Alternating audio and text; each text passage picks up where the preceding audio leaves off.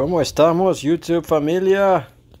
Por fin llegó la camiseta de Eric Zabaleta. Esta camisa no las venden así.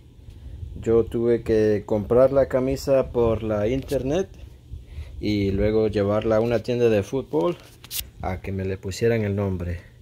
Yo no sé por qué en El Salvador no venden camisas ya con el número y nombre del servidor. yo creo que sería una buena idea si hicieran las camisetas ya con el nombre. Primeramente porque el azul, no sé si ustedes se pueden dar, ver, no, no da muy bien con el azul de la camisa. Y aparte, creo que le deberían de dar recompensa a los jugadores que venden más camisetas.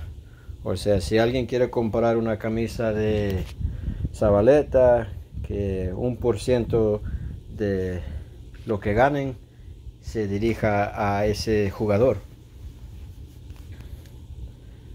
Ah, pero allí está ah, la camisa de Zabaleta. También he mandado a hacer camisas de Nelson Bonilla tengo una de el polaco marroquín.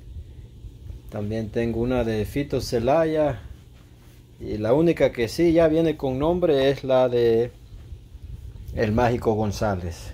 Que no dice González, sino que dice Mágico. Pero ahí está.